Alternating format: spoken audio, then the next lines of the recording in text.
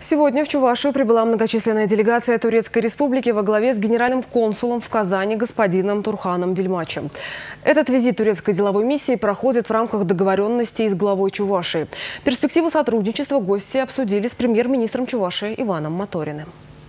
Турция и Чувашия – давние партнеры. Напомним, столица нашей республики является побратимом Анталии. В 2014 году внешний торговый оборот между Турцией и Чувашией превысил 4,5 миллиона долларов США. Это, кстати, в полтора раза больше, чем позапрошлом году, но значительно меньше, чем было в 90-е годы. Современные реалии таковы, что сегодня Россия и Турция одинаково нуждаются друг в друге.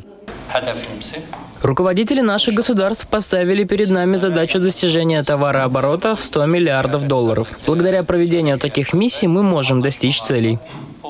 Каждый из участников турецкой делегации руководит территориальными экспортными союзами и представляет интересы как минимум 100 товаропроизводителей. Все они готовы к расширению сотрудничества. Чувашская сторона также в этом заинтересована. Уже на следующей неделе в посольстве Турции в Москве пройдет презентация предприятий Чуваши.